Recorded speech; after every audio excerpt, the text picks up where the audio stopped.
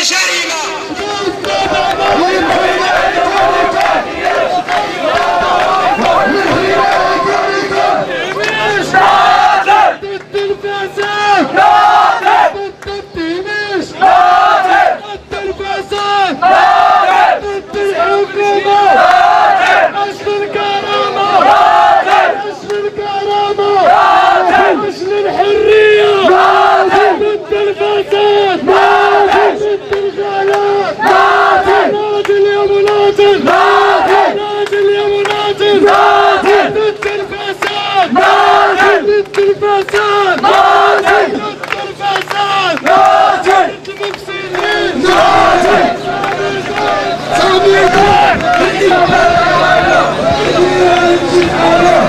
وعلى اجواء الاحتفال بفتح مدينة رودانت يقول الأستاذ مصطفى المتوكل ساحلي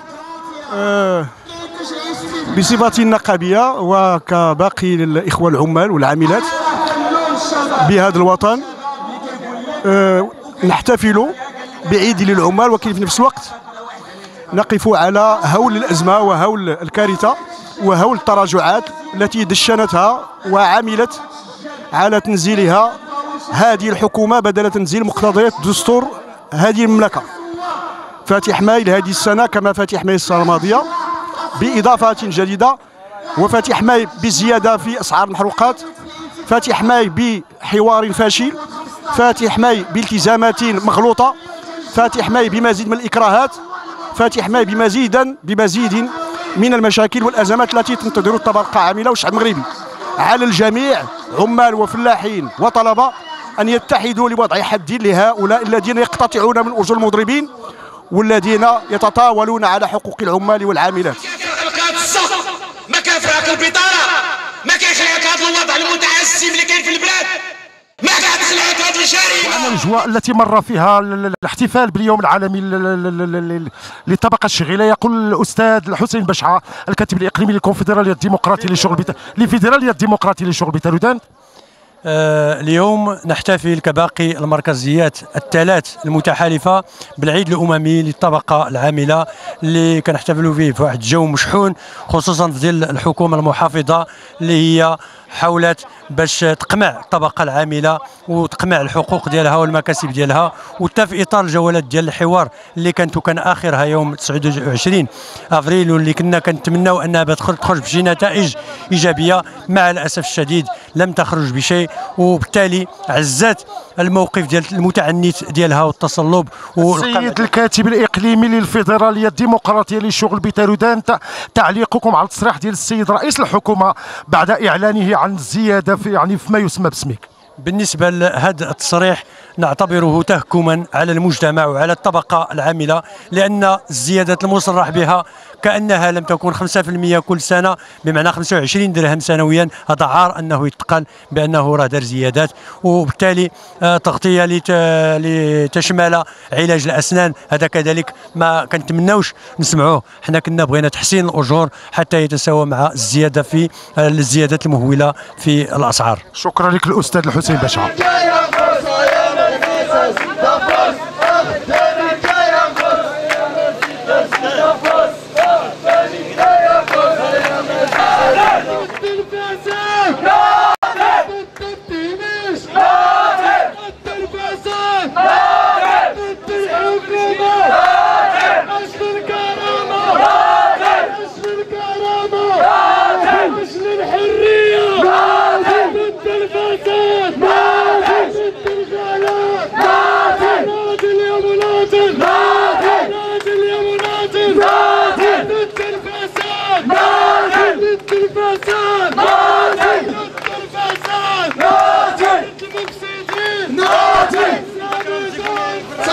وعن الأجواء التي مر فيها العيد ديال الطبقه الشغيله بمدينة ترودان يقول الأستاذ محمد جبري الكاتب الإقليمي للاتحاد الاشتراكي بترودان بسم الله الرحمن الرحيم. كما شفتوا التظاهرة ديال هاد فاتح ماي اللي جات في إطار وحدوي كانت تظاهرة ناجحة اللي نددنا بها إحنا كحزب بالسياسة الحكومية اللي تتميز اولا بالتفقير الاجتماعي ثانيا بالابتزاز السياسي ثالثا بالهشاشة الاقتصادية. فخلال ثلاث سنوات من الولاية ديال الحكومة حاصلة ديالها حاصلة جد سلبية. تتمثل اولا في ضعف الأجور تجميد الحوار الاجتماعي الزيادات المتتاليه في الأسعار. كذلك ضرب القدرة الشرائية ديال الطبقة الفقيرة والطبقة المتوسطة. كذلك غياب الحوار الاجتماعي الجدي. هذا كله تجعل بأن هذه الحكومة حكومة فاشلة في الميدان الاقتصادي. لم تحقق أي شيء. فالوعود اللي اعطتها هذه الحكومة هي وعود كاذبة. فنسبة الأمو اللي قالوا بتكون 7% أصبحت 3% ونسبة العجز اللي قالوا بتكون 4% أصبحت 7% المديونية تتزايد بحيث أصبح المغرب يعود إلى الدول الدائنة وهذا ما يؤثر سلبا على التنمية الاقتصادية بالمغرب. الأستاذ محمد جبريل الكاتب الإقليمي لحزب الاتحاد الاشتراكي بتارودان تعليقكم حول التصريح الأخير للسيد رئيس الحكومة حول الزيادة في ما يسمى بسميك السميك ما معنى السميك؟ واش عباد الله الزيادة ديال 25 درهم في الشهر؟ هي زيادة. هذه الحكومة بالزيادة اللي في الأسعار. واللي دارت في المحروقات راه تقريبا الآن تيقول لك l'essence ما تيستعملوه. الطبقة الفقيرة. اللي تيستعمل l'essence هما صحاب الموطر هما صحاب البيكوبات هما صحاب les transporteurs راه الزيادة ديال l'essence من من, حيث اتخذت الحكومة الحكم إلى الآن راه تزادت تقريبا بواحد غادي ديال واحد 4 دراهم وخصو يعاونوا المغاربة بأنه في أكتوبر راه غادي يوصل ليسانس ل 15 درهم. ما معنى الزيادة في السميك؟ الزيادة هي 25 درهم. يزيد لك في الأسعار في الماء في الضوء حتى المواد الأخرى الخبز الخبز الان ما فيه 200 غرام. بوطاغاز القيمة ديالها ماشي الوزن ديالها ماشي هو هذاك. الآن كاين تفقير الطبقة الشعبية بهذه الأساليب اللي تدير الحكومة. تفقير الطبقة الشعبية والمتضرر الوحيد هو الطبقة الفقيرة ومن بعد الطبقة المتوسطة. لأن الآن تيبان بأن الأوضاع اللي غير مشات الا مشات بهذه الطريقة فاحنا ما بغيناش بلادنا توصل للمساله لما يحمد عقباه. المساله أخرى هناك ابتزاز سياسي من طرف هذه الحكومة. تيقول لك هو اللي وقف الربيع العربي هو اللي بيحارب الفساد هو تيف بهذا الخطاب ديالو تيهدد حتى الدولة. واخر آخر فضيحة اللي دار هو أنه في القمة العربية في اللي حضر فيها رؤساء الدول العربية تيجي رئيس الحكومة بعد ما بعد ما جميع الرؤساء تناولوا الكلمات. في الوقت فاش غيتناول الكلمة رئيس الجمهورية المصرية المؤقت اللي تيمثل مصر حنا بالنسبة لنا بالكيران. تينسحب وهنا خصو يفرق بين رئيس الحزب ورئيس الحكومة. تم تيمثل جلالة الملك وتمثل الشعب المغربي. فهذا السلوك خصو يحيدو. يفرق بين رئيس الحزب رئيس الحزب في المقرات ورئيس ولا كيحتكم في البرلمان وفي المؤتمرات الدولية اللي باسم المغرب راه هو رئيس الحكومة.